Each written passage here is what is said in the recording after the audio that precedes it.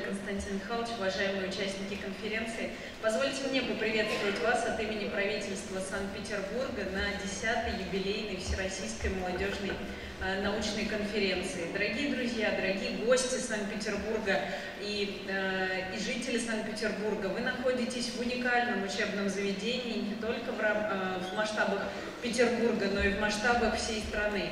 Вы находитесь в учебном заведении, который, которое обладает колоссальным количеством выдающихся выпускников, выдающихся ученых, героев России, с которыми сегодня у вас есть возможность общаться. Я желаю вам э, не упускать эту возможность общения, поглощать все те знания, э, весь тот опыт, который сегодня есть у преподавателей и выпускников военмеха.